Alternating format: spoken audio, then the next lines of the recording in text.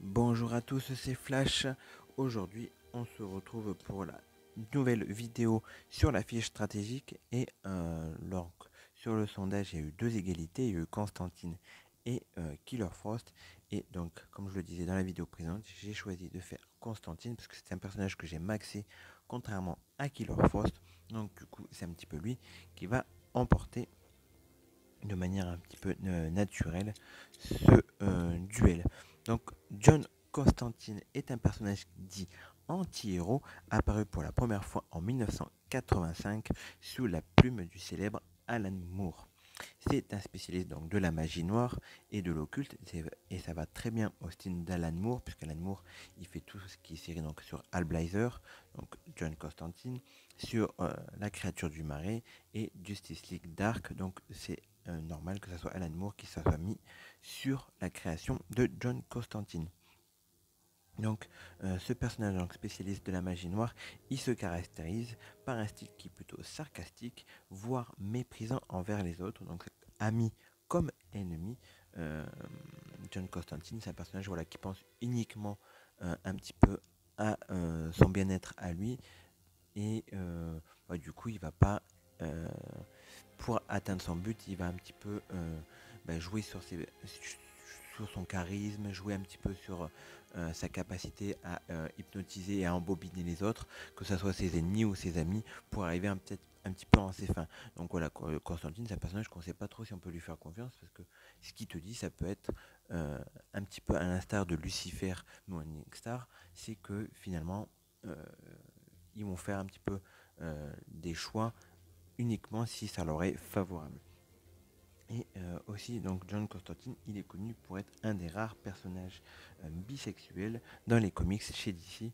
Donc, du coup, euh, c'est un petit peu aussi un autre trait du personnage. voilà, on a Batwoman qui est une personnage qui est elle 100% homosexuel. John Constantine, lui, il est bisexuel. Au niveau du cinéma, donc c'est Kenny Reeve qui a interprété le personnage en 2005 et euh, c'est Matt Ryan qui fut choisi pour interpréter le Constantine de la série euh, qui inclut ensuite dans la reverse.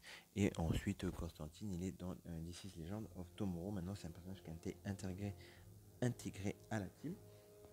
Il faut dire que alors l'interprétation de Kenny Reeve le film on va dire que je l'ai aimé parce que c'était Kenny Reeve plus que le personnage, puisque je trouve que Matt Ryan il est beaucoup plus proche finalement du personnage du comics, euh, déjà de par son costume. Euh, on retrouve le costume original qu'on a un petit peu euh, ici sous nos yeux.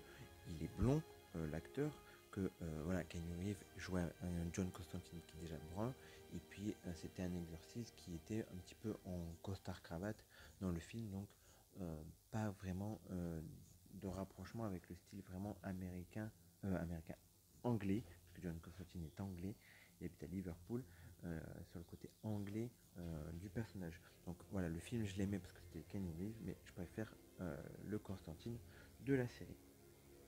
Dans Decision, c'est un personnage qui a été rajouté donc en mars 2018 sans jamais pouvoir avoir été retravaillé à ce jour. C'est un personnage d'affinité mystique avec un rôle de soutien et il a une particularité, John Constantine, Constantine quand même dans ce jeu, c'est que c'est le seul personnage à avoir une attaque de base non offensive. Donc il ne fait pas du tout de dégâts et ça c'est le seul à l'avoir. Donc on va voir un petit peu. Donc moi je l'ai gear 11, level 70. Donc on voit que c'est un personnage qui est clairement euh, joué sur l'intelligence, puisque sa force est vraiment euh, très très faible. Il a une très forte euh, intelligence, et après il a quand même des PV assez faibles, une vitesse moyenne, et ensuite les caractéristiques normales sur la chance de critique et la valeur de critique qui est à peu près égale à tous les personnages de son rang. On va voir un petit peu au niveau de ses attaques, donc tour de passe-passe. Donc en fait, le set de Constantine ça lui va, euh, ça va très bien avec le caractère du personnage. C'est qu'en fait, John Constantine, il va utiliser les autres pour arriver à ses fins. Et c'est pour ça qu'il a une attaque de base qui est non offensive euh, et qu'il a deux attaques euh, qui fait un petit peu jouer les autres. Puisque du coup, bah, voilà, c'est la, manipulation de John Constantine, on le retrouve même dans son set de jeu à lui. Donc tour de passe-passe, ça inflige donc deux malus d'intelligence, trois saignements et ça a 60% de chance de faire enrager l'ennemi. Et en légendaire, donc ça appelle un allié à l'aide si John Constantine est invisible. Donc voilà, euh, le seul dégât que ça fait, c'est vraiment si il y a ce call assist. Et donc du coup, John Constantine est un personnage qui n'est pas du tout euh, contrable, que ce soit ni par Harley, euh, ni par Arkis, Azrael. donc c'est plutôt un bon avantage pour lui, c'est que même sous l'effet de rage ou du silence, il ne fera pas de dégâts et il fera attaquer les autres à sa place, donc il est à l'abri de tous les contres. Son attaque 2, donc, qui est charme désinvolte, donc ça, ça octroie provocation à un allié, donc aussi ça fait jouer les alliés hein, en provoquant, ça donne euh, une charge de constance à lui, ça, il ça le protège, et puis il appelle à l'aide surtout l'allié euh, qui provoque. Et en légendaire, ça a 40% de chance d'appeler une deuxième fois et 40% de plus si l'ennemi en face a une surguérison. Donc c'est plutôt euh, pas mal. Deux attaques qui font appel à l'aide. Donc du coup, euh, c'est plutôt pas mal avec des personnages qui sont assez puissants. Son attaque 3, donc c'est la seule attaque offensive qu'il a qui inflige euh, des dégâts spéciaux à l'ennemi. 12% de dégâts supplémentaires par malus sur l'ennemi, c'est plutôt pas mal, maximum 10, donc maximum 120% de dégâts en plus, et 45% euh, de dégâts sur les cibles qui sont surveillés. Donc c'est vraiment une attaque qui fait très très mal. Bon, la Constantine ne fait pas beaucoup de dégâts, mais voilà, la seule attaque de dégâts qu'il a, elle fait très très très mal. Et euh, en légendaire, donc ça a 8% de chance donc de doubler l'attaque par malus sur l'ennemi.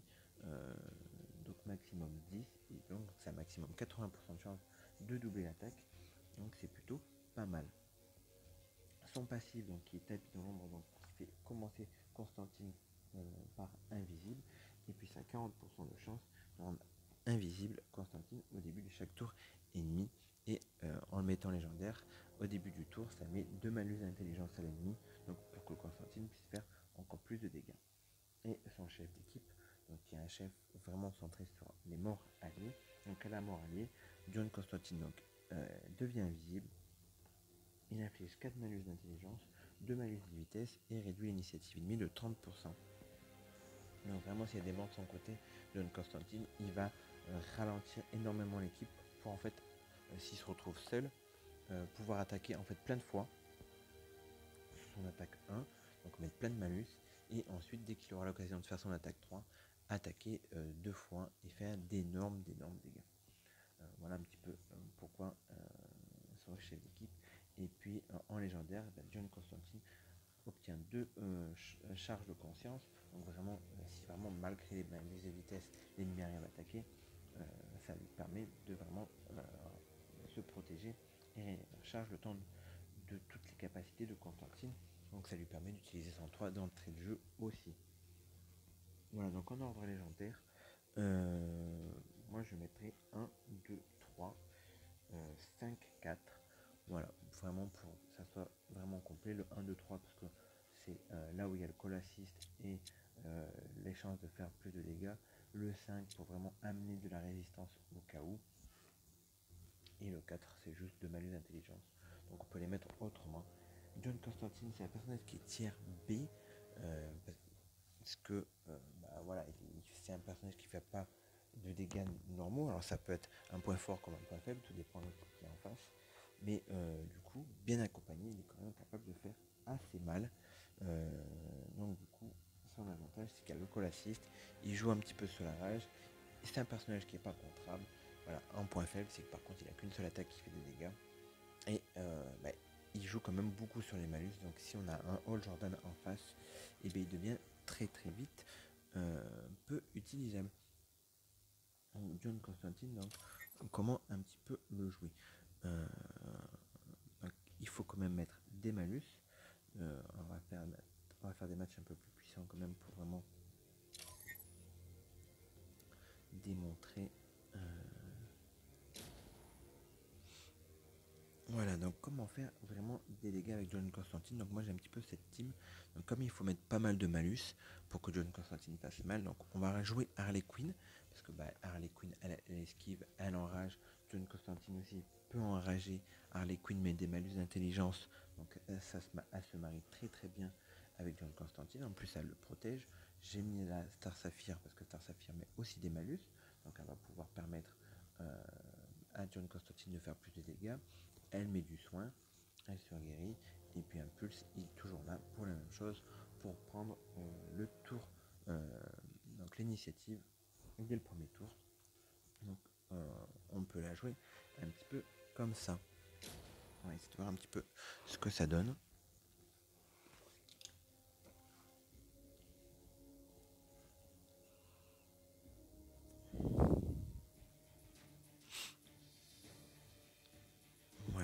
Face, Harley va mettre ça. On va pouvoir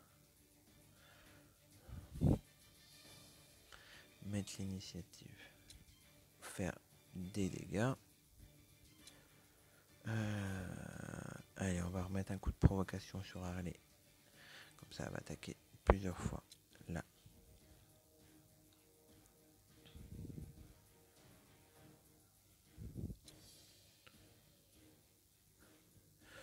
Voilà, on va bourrer un petit peu l'ennemi de malus.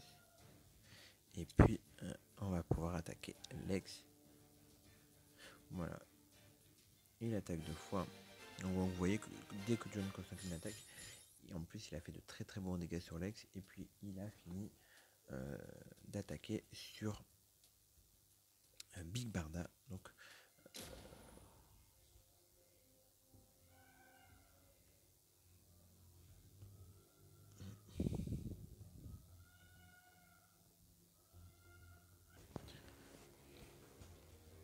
Alors, euh, avec qui d'autre on peut jouer euh, Constantine. Donc il faut mettre des malus. Donc il, peut aussi jouer dans une équipe entièrement saignement, donc euh, avec Chémo ou maladie.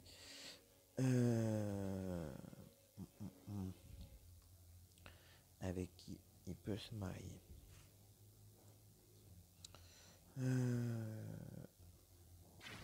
À la place d'Harley, on peut essayer de mettre euh, Big Barda, puisque Big Barda va amener énormément de résistance en ce moment.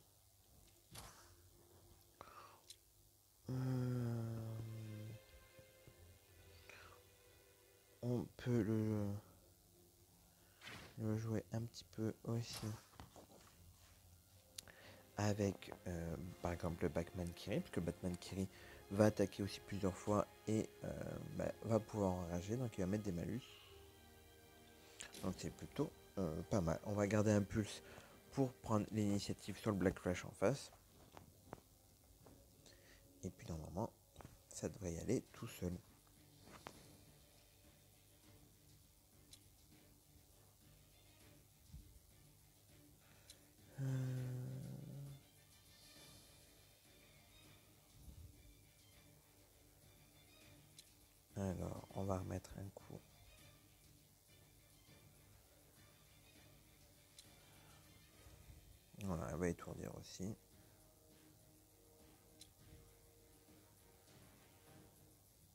Un plus qui met pas mal de malus aussi, donc c'est plutôt pas mal.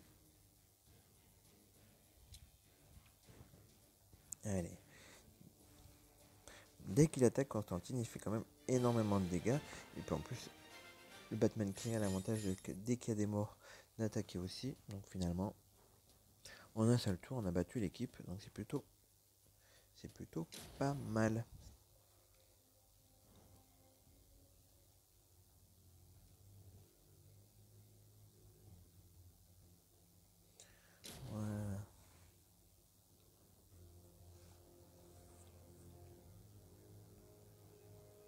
Alors on va garder Barda.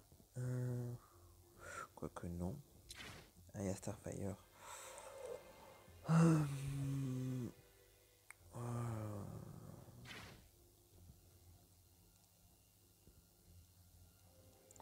on va garder Barda. On va mettre Azrael pour contrer. Et puis en vert, qui c'est qu'on va pouvoir mettre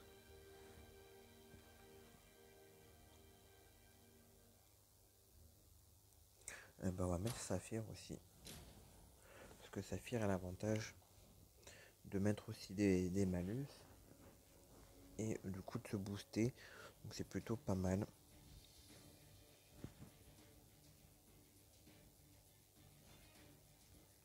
Shiva a fait son attaque de zone. Ça, c'est plutôt mauvais signe.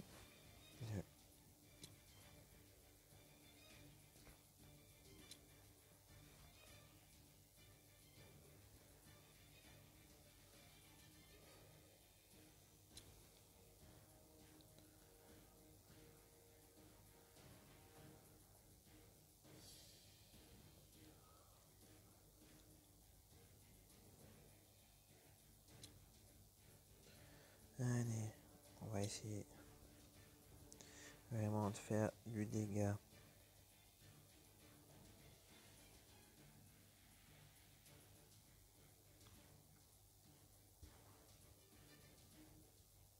Voilà.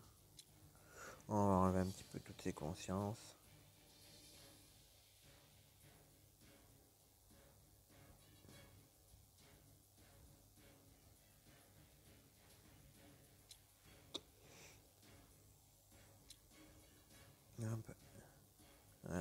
Dès qu'il y a moins de malus, vous voyez, il fait beaucoup moins de dégâts.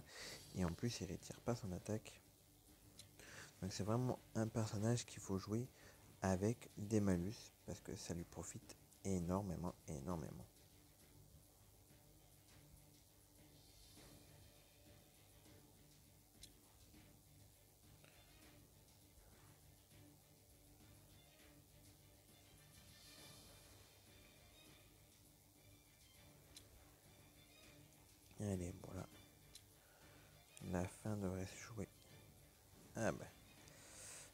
Son attaque de zone. Donc du coup, Constantine est parti à l'ombre.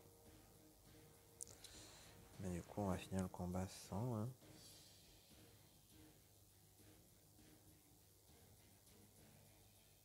Elle a choisi la meilleure tactique idéale.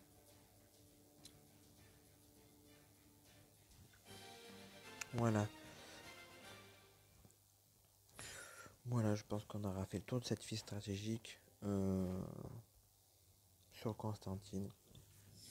Donc il reste quand même un très bon personnage du moment qu'on peut mettre des malus en face. Donc du coup, euh, moi j'aime beaucoup jouer.